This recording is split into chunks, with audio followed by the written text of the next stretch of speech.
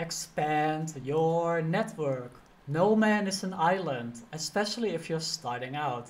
Make sure that you expand your network. It's one of the best ways to get new opportunities, get to know people, expand your network, have more friends and colleagues in different industries.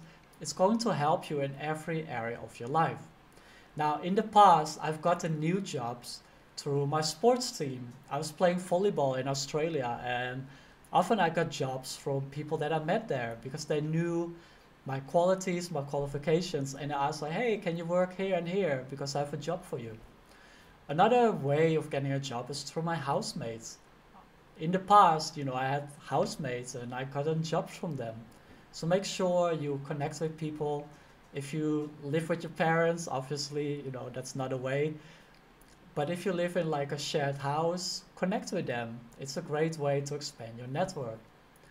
I've also gotten jobs to people I met at university or at seminars or events even a person I met on the plane and got in a conversation with. Another, this is a funny one. I even got a job sleeping with someone. Now I wouldn't recommend this, but you know, it, it, it can be a way of you know getting your foot in the door, especially when you move to a new city. Another job that I've gotten was through competition. So in Thailand, I was um, I was a judge on a talent competition, and I got a job through that of the people that I met who are also in the jury that wanted me to teach for their company and for their schools. So make sure you think about like how can you expand your network.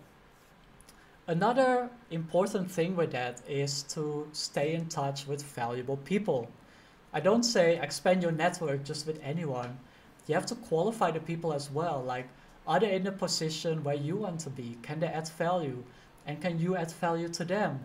If the answer is no, you know, just keep it superficial and don't expand your network with them. But if the answer is yes, make sure you stay in touch with them. The second thing that you must do is to go to meetup groups. Go to meetup.com and look for groups in your area. And if, if there's no group, you might even start a group of your own, like, you know, accountants in London or in Thailand, when I moved to Thailand, there wasn't any meetup group that I liked. So I created the Bangkok Freedom Mastermind to help people who also are committed to creating more freedom in their life.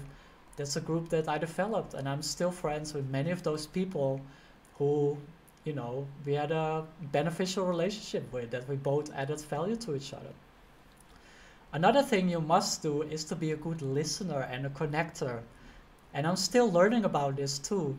Like we all want to boast about how great we are and experiences that we have, but it also pays to listen to others. Like ask them questions, show interest, and don't just talk about yourself. Just you know, listen better. Another thing to do is the opposite of what your parents told you. You know, parents tell you don't talk to strangers, but I want you to talk to strangers. When you sit on the bus to someone that looks interesting, like make a comment. Like this morning, actually, I ran 30 kilometers. And what I usually do after long runs, I buy bags of ice.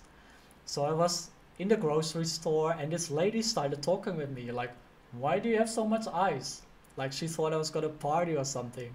So I explained like, oh, the ice is for an ice bath because it takes away the information and we instantly got a connection you know this will also help you to become a better communicator to tell your story and also to listen to other people's stories of course we didn't keep in touch i didn't ask her phone number but it really helps me to explain like oh this is this is why i got it and you know we have a little bit of a laugh there another thing to do to expand your network is to add recruiters on linkedin often recruiters they have the best jobs available. And if you can connect with a couple of them, send them a, a thank you note like, hey, great to connect with you, you'll be surprised how much wonders it will do for your career just knowing these people.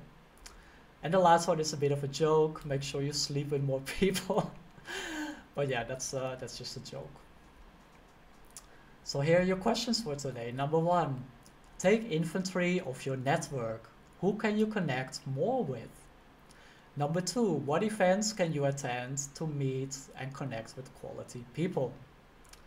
And your bonus question number three, add 10 recruiters in your area and your industry on LinkedIn and send them a personal message to connect with them.